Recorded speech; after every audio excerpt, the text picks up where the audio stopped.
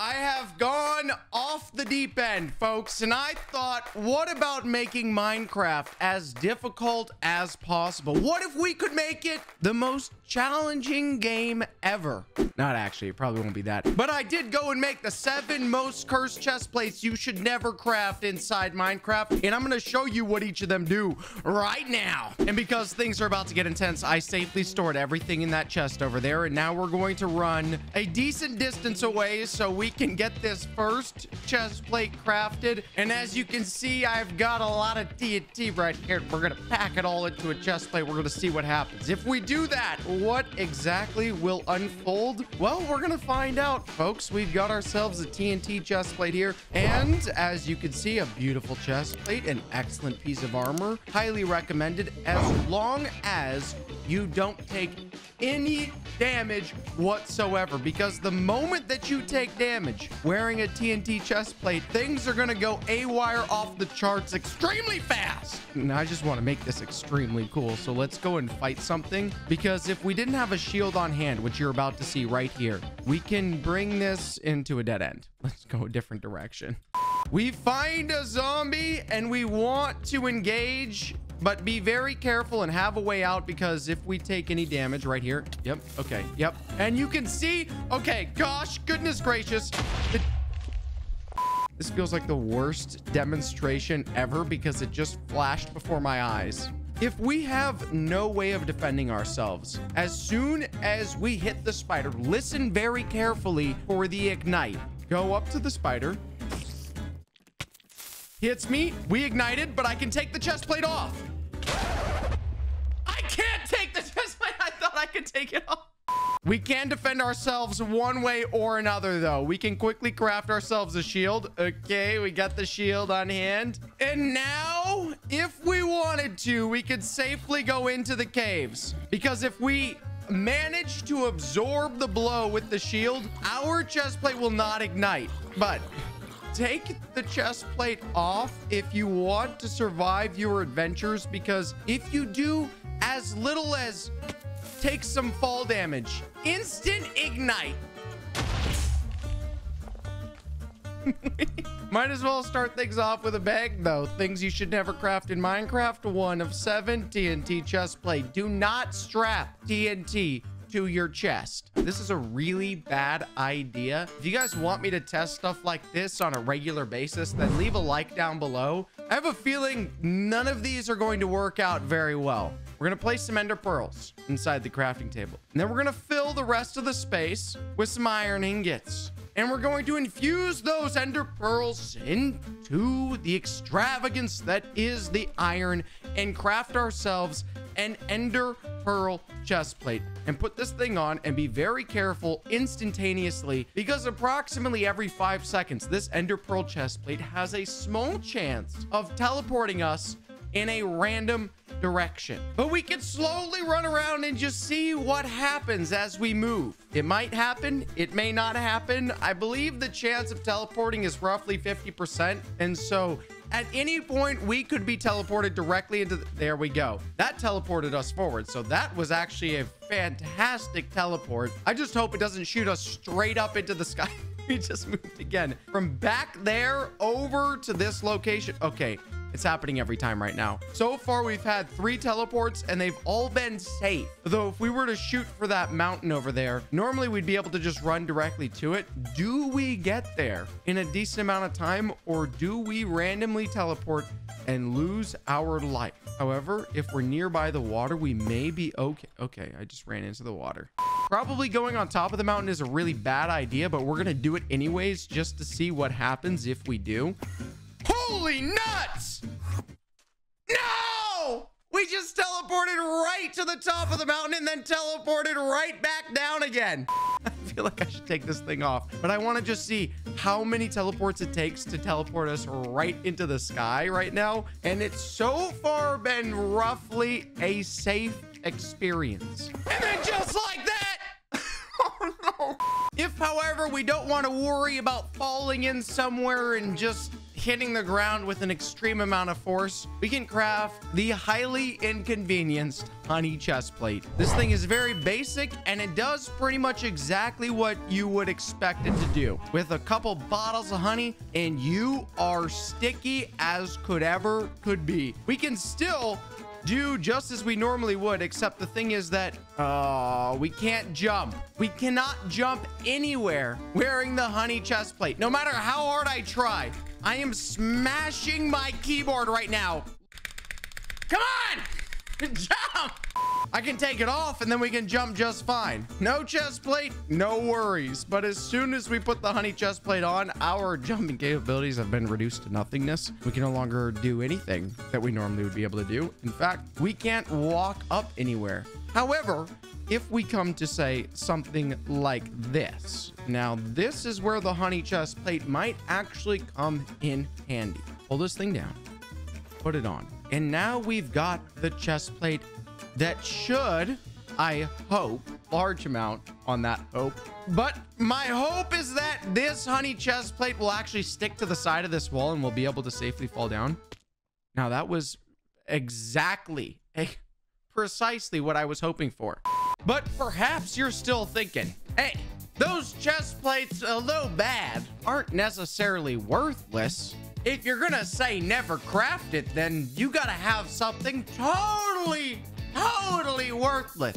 Well, I thought you might say so. I thought you might say so. I have created a paper chest plate. This is a chest plate that you would never, ever, ever, ever, ever think to run into battle with. You throw this thing on, it is the most useless piece of armor you could ever wear. Do not pick up your axe in medieval times. Running into battle wearing a chest plate made of paper. One reason why you wouldn't want to do this is because you can walk into battle and you would be all right, at least until you meet the other end of a spear.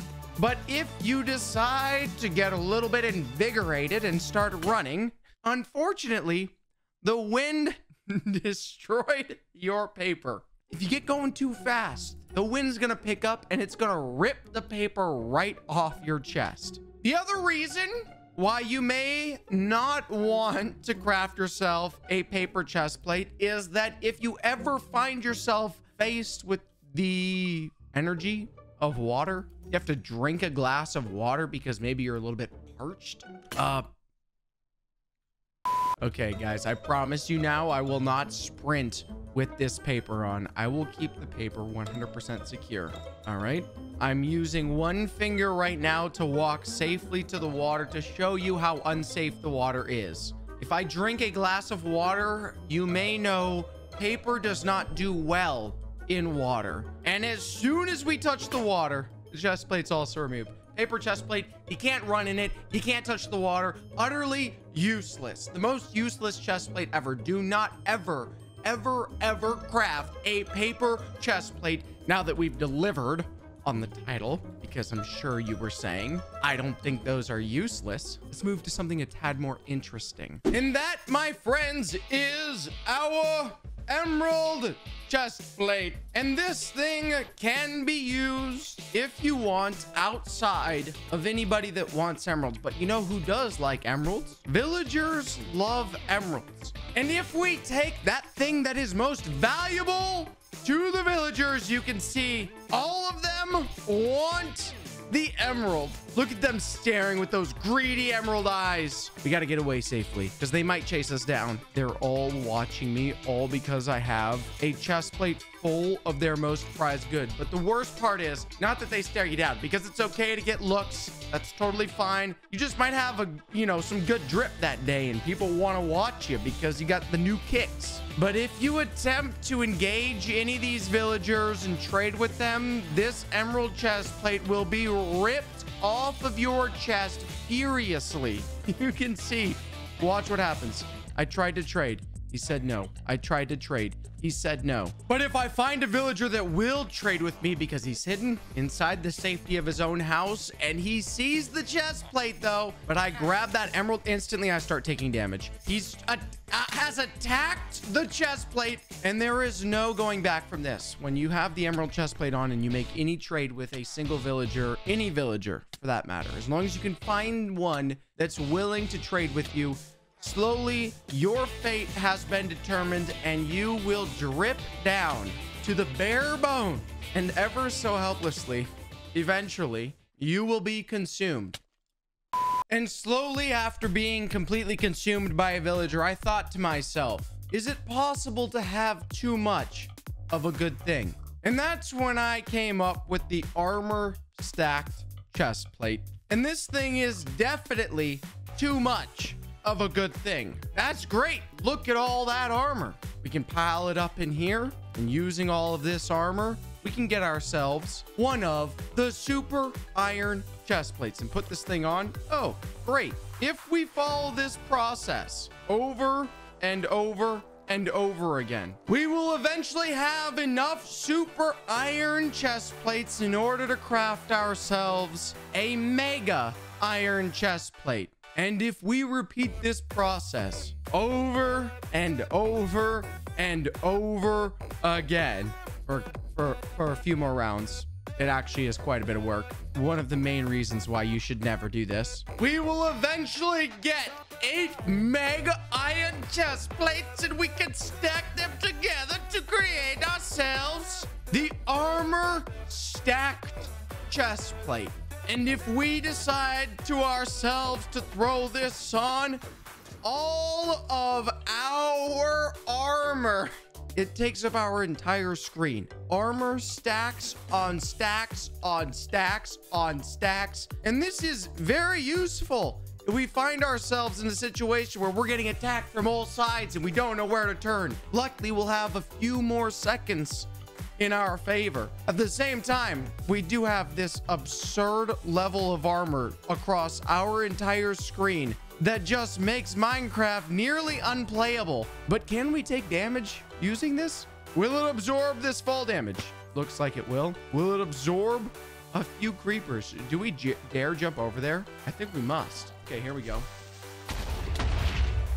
It those creepers just definitely blew up and we took almost no damage. I wish I would have stood right in front of him. Here we go. Come over here. I'm to stand right in front of this creeper right now and see what happens. Absolutely zero. So I guess I take it back a little bit uh, that this should never be crafted. If you do want to spend the time to craft, what is that? You've got eight times eight times eight. I don't have to worry about this zombie that's walking up on me right now because I have basic complete invincibility. In order to get this chest plate, you need 512 iron chest plates. And it takes eight iron ingots to get an iron chest plate. So if my calculations are correct, which there's a good chance they're not because my mathematician skills are not as good as Einstein's.